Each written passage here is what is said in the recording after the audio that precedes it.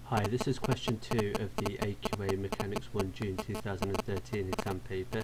Um, for this question we're given the um, graph of how the speed of a cyclist Hannah varies as she travels for 21 seconds along a straight horizontal road. So we can see that this is a velocity time graph. For the first part we want to find the distance travelled by Hannah in the 21 seconds well because it's a velocity time graph we want to work out the area under the graph. So um, this has been cut, cut up into three sections for us. So we want to find the area of each of these sections. Now um, this first part here um, we've got a trapezium.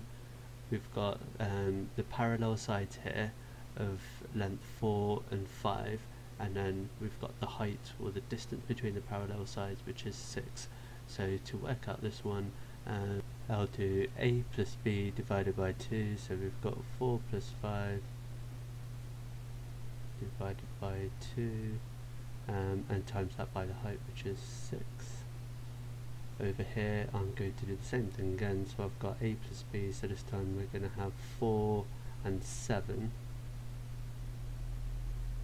divided by 2 times by the height which this time is going to be the distance between 6 and 14 which is 8 and then finally for this one here um, I've just got a rectangle um, it's got a height of 7 and a width of 7 um, so here we're just going to do 7 times 7 okay so we can work each of these out. We've got um, 9 divided by 2 which is 4.5 times by 6 um, which is going to give me 27 over here.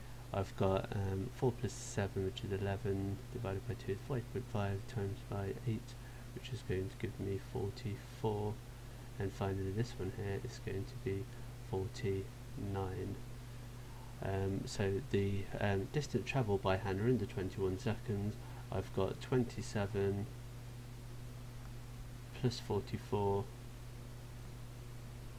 plus 49 um, and that gives me a total of um, 120 meters.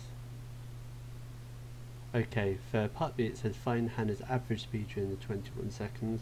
Well, she's travelled 120 meters over 21 seconds, so um, her average speed is going to be equal to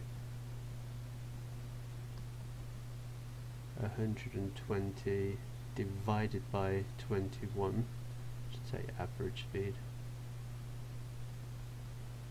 Um, and that's going to be to three significant figures 5.71 meters per second. Okay hope you found that useful. I'll see you next time